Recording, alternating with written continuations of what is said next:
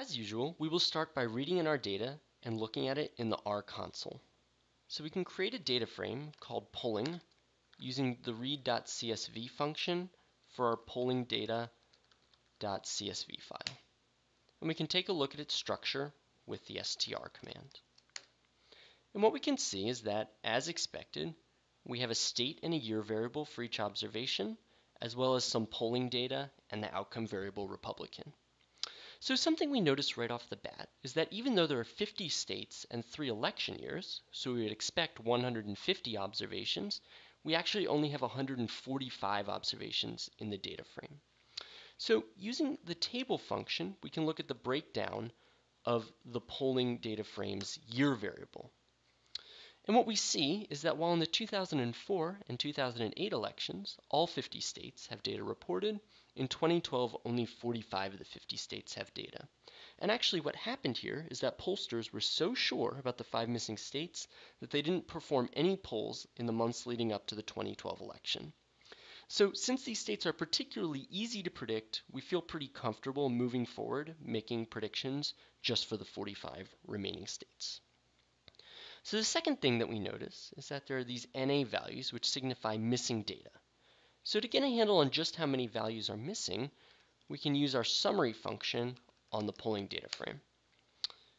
And what we see is that while for the majority of our variables there's actually no missing data, we see that for the Rasmussen polling data and also for the Survey USA polling data, there are a decent number of missing values. So let's take a look at just how we can handle this missing data. There are a number of simple approaches to dealing with missing data. One would be to delete observations that are missing at least one variable value. Unfortunately, in this case, that would result in throwing away more than 50% of the observations. And further, we want to be able to make predictions for all states, not just for the ones that report all of their variable values. Another observation would be to remove the variables that have missing values, in this case, the Rasmussen and Survey USA variables. However, we expect Rasmussen and Survey USA to be qualitatively different from aggregate variables such as diff count and prop r, so we want to retain them in our dataset. A third approach would be to fill the missing data points with average values. So for Rasmussen and Survey USA, the average value for a poll would be very close to zero across all the times where they're reported, which is roughly a tie between the Democrat and Republican candidate. However, if prop r is very close to 1 or 0, we would expect the Rasmussen or Survey USA values that are currently missing to uh, be positive or negative, respectively. This leads to a more complicated approach called multiple imputation, in which we fill in the missing values based on the non-missing values for an observation. So for instance, if the Rasmussen variable is reported and is very negative, then a missing Survey USA value would likely be filled in as a negative value as well. Just like in the sample.split function, multiple runs of multiple imputation will in general result in different missing values being filled in based on the random seed that is set. Although multiple imputation is in general a mathematically sophisticated approach, we can use it rather easily through pre-existing R libraries. We will use the multiple imputation by chained equations or mice package.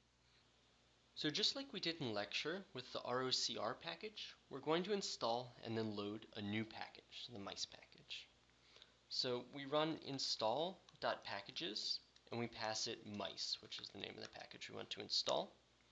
So you have to select a mirror near you for the installation and hopefully everything will go smoothly and you'll get the package mice installed. So after it's installed, we still need to load it so that we can actually use it. So we do that with the library command. If you have to use it in the future, all you'll have to do is run library instead of installing and then running library. So for our multiple imputation to be useful, we have to be able to find out the values of our missing variables without using the outcome of Republican.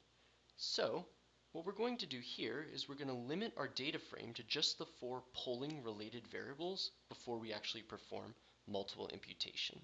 So we're going to create a new data frame called simple, and that's just going to be our original polling data frame limited to Rasmussen, survey USA, prop R, and diff count.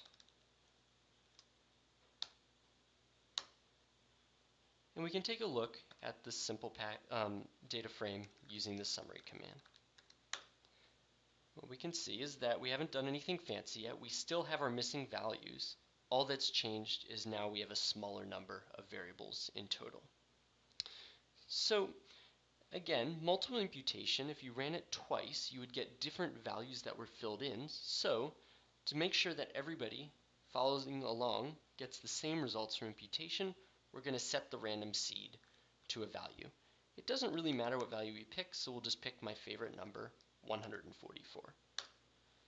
And now we're ready to do imputation, which is just one line. So we're going to create a new data frame called imputed, and we're going to use the function complete called on the function mice called on simple. So the output here shows us that five rounds of imputation have been run and now all of the variables have been filled in so there's no more missing values and we can see that using the summary function on imputed. So Rasmussen and SurveyUSA both have no more of those NA or missing values.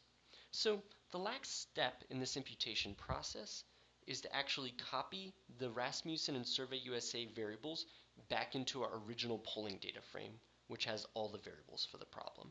And we can do that with two simple assignments. So we'll just copy over to polling Rasmussen, the value from the imputed data frame, and then we'll do the same for the survey USA variable. And we'll use one final check using summary on the final polling data frame. And as we can see, Rasmussen and Survey USA are no longer missing values.